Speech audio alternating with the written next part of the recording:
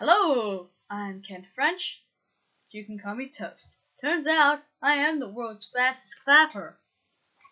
I actually set the record for most claps in a minute 721 claps in one minute. That's a rate of 12 claps per second for 60 seconds. So, I'm gonna